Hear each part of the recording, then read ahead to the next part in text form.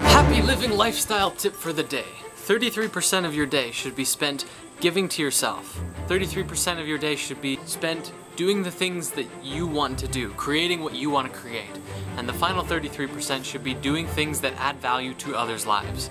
Because we want to get into a habit of giving to others and sharing with each other and giving of ourselves. And so if we give freely, knowing that it's going to increase the value and not expecting anything in return to others, then it's going to really start to transform the way that we do things. Because it's just going to keep happening and more and more people are going to keep doing it. And then pretty much soon everybody just works on this kind of giving basis where nobody needs to receive anything. The other 66% are actually more about you.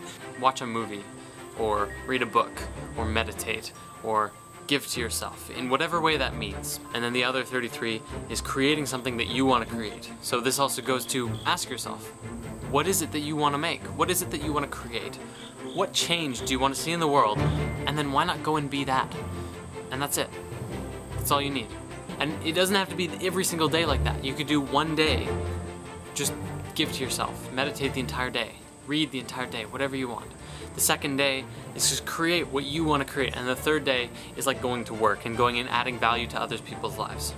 And also just acknowledge that who are you really adding value to?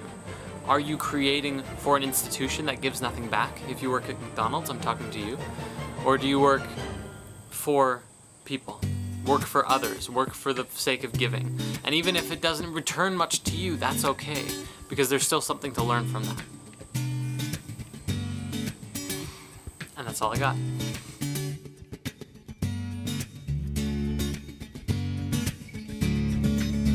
I wanna share like I'm a billionaire and I wanna feel surrounded by love when there's nobody there and I wanna be a brother that can remind you you've got a friend.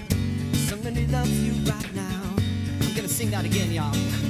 Yes, I wanna share like I'm a zillionaire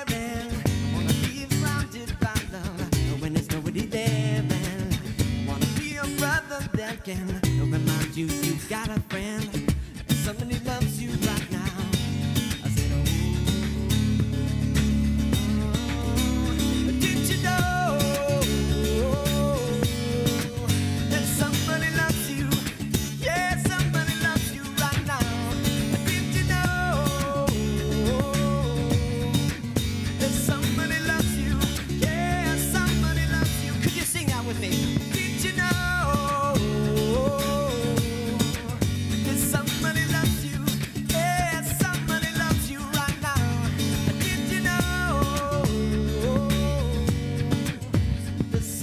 riding